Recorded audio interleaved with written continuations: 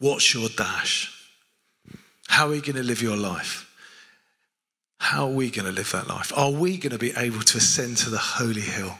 Are we going to be able to ascend to his holy place?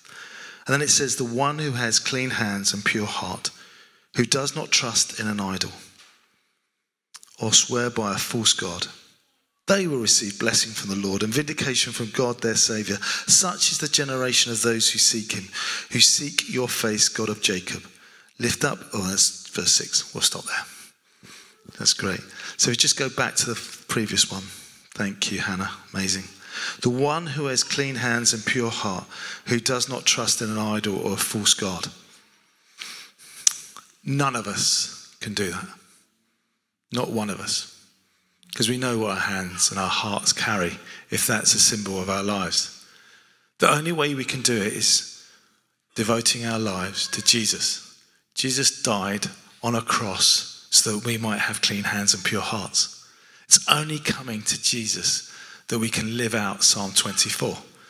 You know, it's a famous song because we talk about it a lot in church because it comes out of the Hebridean revival. It's uh, not it's written for the Hebridean revival. They spoke about it about the Hebridean revival when Pe- Peggy and Christine Smith, two yet ladies in their 80s, were so disillusioned with the state of the church in the Outer Hebrides that they decided to get on their knees 10 o'clock to 3 a.m. three or four times a week and cry out to God about the state of no young people being in church. And then one night, after three or four months, and after challenging their pastors to join them in this holy activity, a young deacon walked into the church during one of these prayer meetings, a bit like one of our encounters, and he started to quote this psalm because he knew that he was unclean and he needed, he didn't have a pure heart. And he started to confess sins sins of pride, sins of sexual immorality, but he started to declare it inside the church.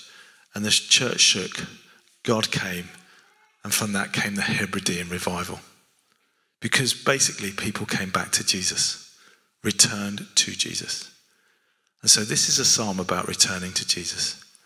And so, when we think about All Souls, and I think about my dad and my sister, so my dad came to faith seven days before he died. My sister never did. And I don't know.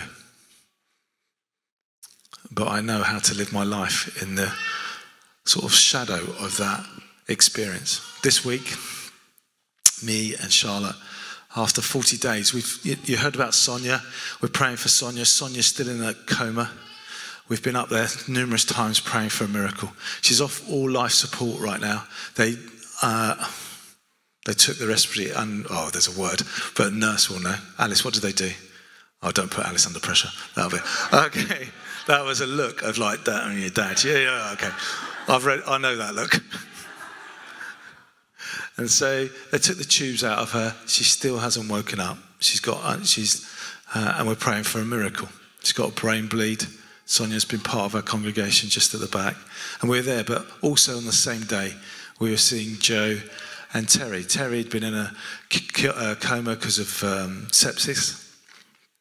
And um, I don't think I'm called as a pastor to not be unaffected by what happens in these moments, because we had the reading of Jesus wept. We step in as Christians, we know the future wealth. But what Jesus does by crying is he steps into the present pain. And we're called to step into that present pain. And so this we had the privilege of stepping into that pain, and it is a privilege. And unfortunately, Terry, who's been making amazing progress, and we've seen so much to be thankful for in these last 40 days, suddenly the sepsis returned and his body started to shut down. And over a three hour period, we sat by his bedside with Joe, Stuart, and Jan and watched him die as the body shut down. And it's felt like for me, with Charlotte there, with Joe there, with Stuart there, and Jan, Jesus was very present in that room. And the nurse, Gabby, what a wonderful woman. And how God works is she said, Oh, my granddad and my grandmother go to a church in Crawley. And it's St. Peter's, it's Brian and Joe Hackshaw. So Gabby was there as the nurse. But what it made me reflect on is we need Jesus like never before. There is so many situations that are broken that we need Jesus. And what did we bring back? Is there are moments from America, there are moments in our lives we need to discern the moment. I think we've been given a word three years ago, and I think we're only just realizing what that word means. It's stopping and coming into his presence. There are moments in history that literally change the world. There are moments of discernment, of knowing when that moment is. That young deacon knew that moment to come into the church. Often in life, I know that moment when I get a text message and I go, I'm just going to go to the hospital. You know, I knew that moment when Relinka rang about seven years ago, and I knew I had to go.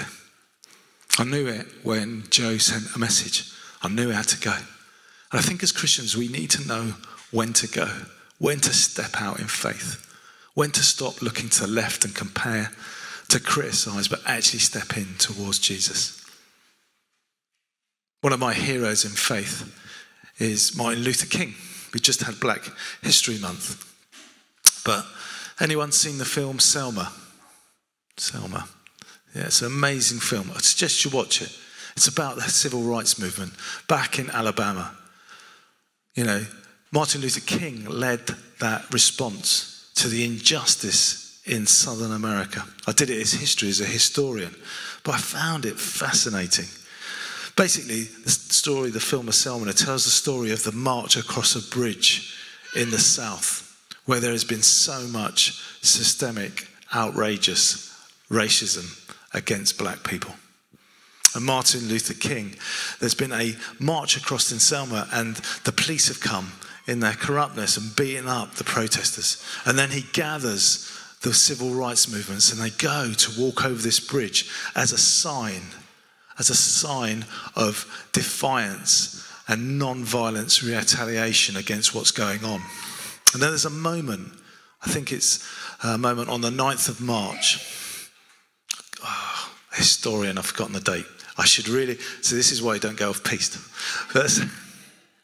But, he gets onto that bridge and everyone's expecting him to forge on as they're just about to be attacked.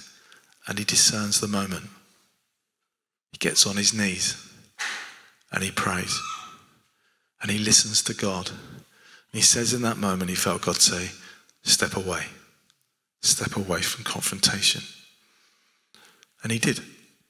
And he withdrew on that day with the protesters and he came under amazing amount of criticism for that moment. On the 9th of March, he was seen as a failure to the black race. They said, Why did you step away? He just felt God speak to him. That act of defiance by praying and turning away changed the heart of the American president that then allowed the march to happen. With only 250 people, about a, a few weeks later, actually, two and a half thousand people turned up and marched. And they say that there was a seminal moment in the civil rights movement. It's the same way as when he gave his famous speech. He wasn't going to speak about it. And then someone said to him, standing in Washington with millions of people, someone said, Martin, Martin, tell them about your dream. Tell them about your dream. And you can hear it on the sort of uh, TV things. A woman standing aside, tell them about your dream. And Martin Luther King says, I had a dream. And came from that moment. So there's moments in history that change literally the course of history. And there's moments in our lives that change the history of our lives. One other one as I stand here and I'm thinking comes to mind is a, Russian guy in 1983. These are things of history that I really love. He was on call looking at the screens in Russia as their nuclear defense. And something went wrong in the system. And suddenly, he saw five missiles coming from the west, nuclear missiles, into Russia. And in that moment, he had to make a decision. Is it really happening, or is the machine gone down? Praise the Lord. He decided not to retaliate and think, oh, the system's gone down. Those discerning moments are about character and how we live our life. And so, what does that mean for us here today as we look at those verses of Psalm 24 clean hands and pure hearts? One, it tells us that we cannot do this alone. Because no matter the willpower, no matter the strength of a human being, no matter the character, no one can do this without Jesus Christ as the center and the Holy Spirit walking alongside them. I think I've got a couple. I better use the flip chart. So here we go.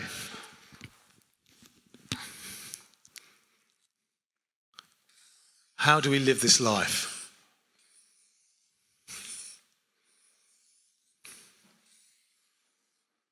We live it by ensuring that we are formed. That is about doing the daily habits walking with Jesus. That's about reading your Bible every day. It's the spiritual disciplines. It's gathering to church on a Sunday. It's praying, it's worshiping, it's coming to encounter and being part of a huddle. It's giving to the church, it's serving with the church. But it's that step that we come to be formed.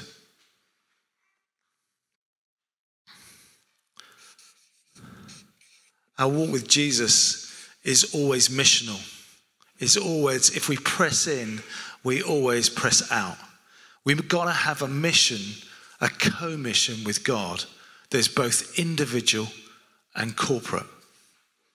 You know, we're going to be celebrating and praying for the recovery course that's happening across the hall. That is missional. We're going to be praying for, I think, what might be the next season, which is Church Without Walls. Maybe on a Saturday morning. There is more homeless in Crawley right now than I've ever seen in the last seven years. I've never seen anything like it. I come in the morning really early and I walk across the town and I've never seen the number of people sleeping rough. I haven't. I know there'll be stories behind it and there'll be stuff to it, but actually, what are we called to do? Are we called to wait for the council and do exactly what the council says? Are we called to partner with those people? But are we actually to do what we're called to do, which is to feed the poor? So it's that missional aspect. But with those two, that just becomes social activism. And that's where we can flip into as church. We can be formed and missional, and it's just social activists. Because the key factor, and sometimes I repent and sometimes we've forgotten it as a church, is about his presence. It's only being formed in his presence. It's only when you read the Bible and it's alongside the Holy Spirit will you be formed. If you come to worship, it's because Jesus is transforming you, not any words from us. If you come and serve a mission and serve a coffee or a burger or sing and pray for, say, on Church Without Walls, it's only because Jesus is there. So it's opening ourselves to presence. This is what encounter's about. Come on Tuesday and encounter Jesus, both in his presence as a formation, but as missional. As we set off fireworks is missional because it declares the glory of God and the community we live in.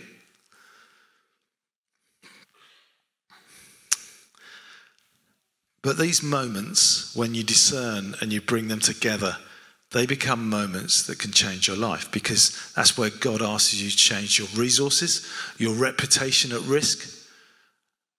Notice that Martin Luther King came under amazing attack when he stood up to what he felt God was telling him to do. Sacred intimacy.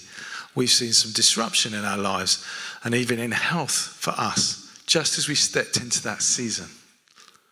And so I truly believe what we're teaching at Sacred Intimacy about sexuality and identity is of God. But it's about stepping into those moments. You'll risk your rest and your rhythms.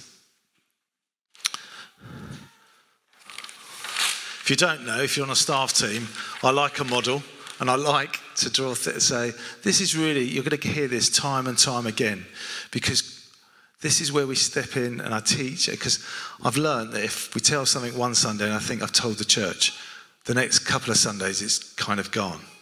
It kind of like gets snatched away. And so this is stuff we've been pressing into for a while.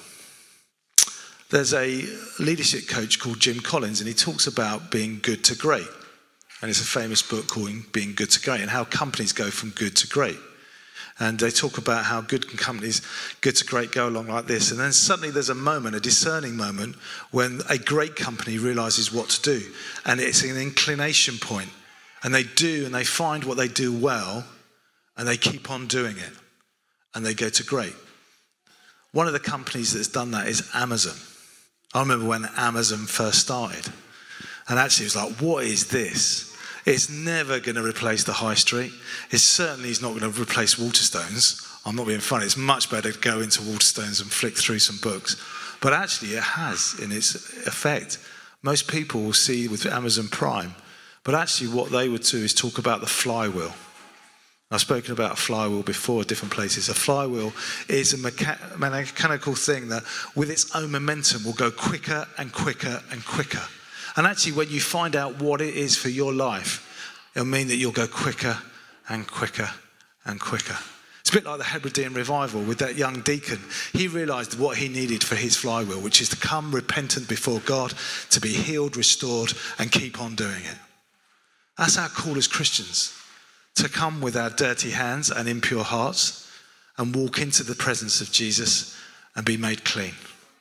It's a daily re- representing ourselves as living sacrifices. Of course, it's made clean in one, but it's something we remind ourselves over and over. And so the Amazon flywheel would look like something like this. Grace.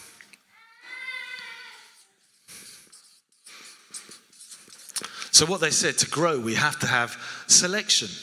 Selection, having as much selection as they possibly could. And then to make sure that the experience of the customer is really, really great. Hence, prime and appearing at your doors. And then that would produce traffic. And what they mean by traffic is interest. So if they got a great number of selection, they made sure your experience was right, and then the traffic was right. They started conversations, and that meant that that interest meant that more sellers came on board, which meant there was more selection. And actually, instead of giving more dividends to the people that paid shares into Amazon, what they decided to do that kept the flywheel going is they tried to lower costs. So they didn't invest their sort of profits in themselves, they drove down costs. And what that meant was Amazon is what it is today because they kept on building up selection, making sure the customer experience was good, building up traffic and interest, and everyone wants to sell on Amazon. And that's where it grew. And that's called a flywheel. Why do I talk about that this morning in church? Some of you have been to like the St. Andrew's Day or Team Days will know that I've been talking about a holy flywheel a dedication and consecrated flywheel where we take a biblical story about a woman or a boy or people in the Bible and see their devotion and dedication. And so there's a bit of scripture that's going to come up. A second Bible reading, please, Hannah. This is where I'm going back onto peace a little bit. Matthew. Thank you. While Jesus was in Bethany in the home of Simon the leper, a woman came to him and with an alabaster jar of very expensive perfume, which she poured in his head as he was reclining at the table. When the disciples saw this, they were indignant. Easy for me to say. Why this, why this waste? They asked. The perfume could have been sold at a high price and the money given to the poor. Aware of this, Jesus said to them, Why are you bothering this woman? She has done a beautiful thing to me. The poor will always have, will always, poor you will always have with you, but you will not always have me. When she poured this perfume on my body, she did it to prepare me for my burial. Truly I tell you, whatever this gospel is preached throughout the world, what she has done will also be told in memory of her. Mary of Bethany Wherever the gospel is preached, they'll talk about this act of devotion. Wherever it's preached, they'll be speaking about Mary of Bethany. And I think that she gives us a flywheel of devotion, a flywheel as Christians to follow, to discern the moment. Because what she does, unlike all the other people in the room, is she discerns the moment. She is the only one that knows that Jesus is going to go and die. All the other disciples are there. Martha, her sister's busy. I don't think Mary's got a bad. I think Mary's got a bit of a bad press by saying she's lazy. She's actually not. I think it doesn't say she didn't ever do the dishes or involved in the household. She just knows when to stop. She discerns the moment. She knows that Jesus is going to die. She's the only person that does. And maybe in our lives that we need to discern the moment. The way we discern, I think there's seven things that might come up on the screen now. I think this is how we discern. It's not foolproof, but take a picture or ask for it. It's, it lines up with God's word. Whatever God is asking you to do right now, and it has to line up with His word. He will not ask you to do anything that isn't biblical. Secondly, godly counsel confirms it. If you gather around people, your pastors, us, or people in the church, and they say that's a good it's got to be godly counsel. Peace comes from it. Doesn't mean it's going to be easy, but peace comes from it when you step into your discerning moment. It calls us to serve others. It's about another love, the love of the other, agape love. It's about loving your, your neighbor. It's about giving of yourself. Not because of what you get, because this is what you're being called to do. It stands the test of time. God gives resources to achieve it, and God is glorified in it. My friend Pete has just come back from Colombia, where a house church has grown in the last 20 years from a house church into a church of 100,000 people every week. And what he said, he noticed about the pastors, the same pastors, it was all about the glory of God. It was nothing about them. And so that's the discerning moment. So she discerns the moment. And then she breaks the bottle.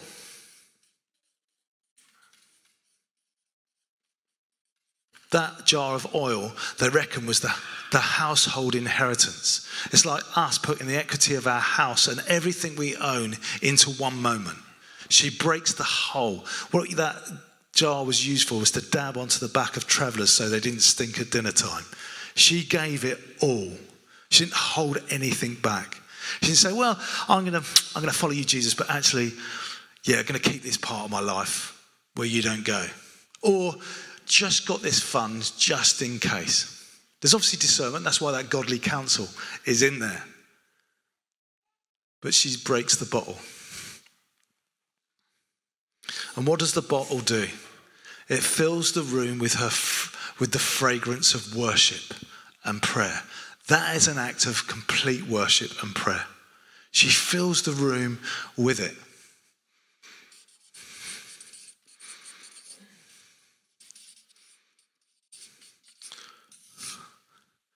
Not in this gospel, but the gospel of John, it says that Judas criticizes. It says the disciples here. But as soon as she does it, they go, What are you doing? In James, uh, John's gospel, Jesus says, Leave her alone. So, in this act of outrageous devotion, she doesn't defend herself, Jesus defends her. And as we step out in faith, people will criticize. As we're true to God's word in grace and truth, people will criticize. There will be attack. And we've experienced ourselves, just as a couple, in the last two or three years, and me personally, just with different things. But I felt quite strongly that uh, God said to me, Don't defend yourself, Steve. Let Jesus defend you. Keep silent. It's the hardest thing in the world to do because your reputation gets torn up. It's about your integrity. And so, Jesus defends us. And it is deeply missional. She is spoken about wherever the gospel is preached. Someone said to me as I was sort of, sort of talking about this and I reflected on it that actually on the cross, when Jesus hung, when everyone had left him, the only thing he could smell was the nard of oil. Her act of devotion was the only th- company with him on the cross. He smelt of her as he died. That act of worship and devotion, when everyone else abandoned him, she was there still. That's what it means to be focused on Jesus. And the only way we can do this is with the Holy Spirit at the center. He's here, He's a person, He's a presence. It's the only audible voice we ever hear of Jesus, uh, of the Holy Spirit in Scripture, that is come. And He's asking us to come. And so, what does that mean today for us? As a church and individually, you take it away and see what God is saying. Discern the moment. Maybe you're on that level field and it's not that inclination to discern the moment, but I think He gives us everyday moments to discern. Every day to walk over a street and share the gospel of Jesus Christ. One of the values the staff team should have here at St. John's isn't about some of the things we've got, but actually, have you shared the gospel this week? And have you prayed with someone? They maybe should things we should draw in as a team. It's in a rule of life I've written for a community, and they probably haven't read it yet. But that's discerning the moment. So, what does it mean for us? I think the moment is still for us as a church is prayer. It's coming back to his presence, of putting our resources, our time, our talents, and our treasure to that.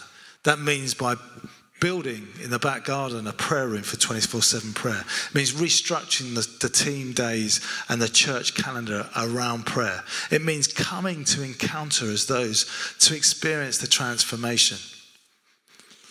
An encounter is our worship to God. We carry his scent and he carries our scent. The shepherd knows what his sheep smell of, and the sheep know what the shepherd smell of. It's that closeness. And of course, in church life, with so many models, so many different things, there's going to be criticism. It's discerning what God has spoken to us and keeping strong and resilient through that, even in the face of criticism. Let Jesus defend us. And ever, ever we push into Jesus, he pushes us out into the mission of God. So it'll be about evangelism. It'll be about serving the poor. It'll be all the things we do here. But it's where our source of power comes from. It's not coming from our our own egos or our own self deficiency. So we need to be needed and noticed. We need to be right. I need to achieve. Whatever it is, it doesn't come from our deficiency, it comes from His abundant resourcing. It's about discerning the moment. Martin Luther King in the 60s in the South at Selma discerned the moment. That Russian guy I've forgotten his name he discerned the moment. But most of all, the one that we speak about most of all, 2,000 years later, is Mary of Bethany. She discerned the moment. And I think as we go around our flywheel and we keep doing it, empowered by the Holy Spirit in the middle, our will goes stronger and stronger. It wasn't about the faith of Mary, it was her devotion to Jesus. So we might have a weak faith this morning, but it's about our devotion to Jesus, about giving everything to Him. So,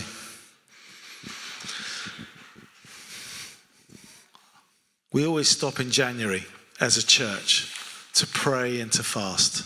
I don't know what it looks like for this January. It might not be the whole month, might be, you know, I don't know yet. I just, we've got to discern together that. But I do think this year, coming up. It's called the Mystery of Faith for the Diocese, I think. But actually, for us, I think it's the first time that we can walk towards consecration under His strength, not ours. Not under uh, fear, but excitement. We spoke about it at the six. If anyone was here at the six, there was a moment we just held silence for about 10 minutes.